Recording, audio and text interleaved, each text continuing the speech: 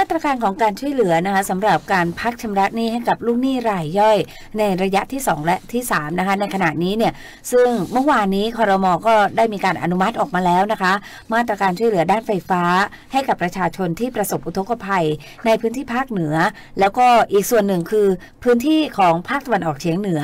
ในเดือนกันยายนและเดือนตุลาคมนะคะสำหรับการพักชำระหนี้นี้ โดยในที่ประชุมเนี่ยอนุมัติออกมาเคาะเรียบร้อยนะคะ ในเดือนกันยายนถึงเดือนตุลาคม โดยในเดือนกันยายนนะคะจะไม่เรียกเก็บค่าไฟฟ้า ส่วนในเดือนตุลาคม จะให้ส่วนลดค่ะสำหรับค่าไฟฟ้า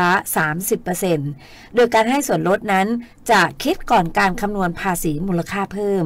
คณะรัฐมนตรีเองยังอนุมัติตามที่กระทรวงการคลังเสนอนะคะ เรื่องมาตรการพักชำระหนี้ให้กับลูกหนี้รายย่อย ตามนโยบายรัฐบาล ระยะที่ 2 และระยะที่ 3 แล้วก็ยังมีการพัฒนาศักยภาพเพื่อที่จะฟื้นฟู ลูกหนี้ธนาคารทกส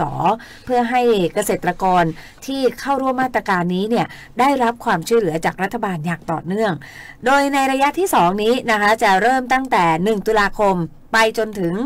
30 กันยายนในปีหน้าคือปี 68 ค่ะ ส่วนในระยะที่ 3 ก็จะเริ่มตั้งแต่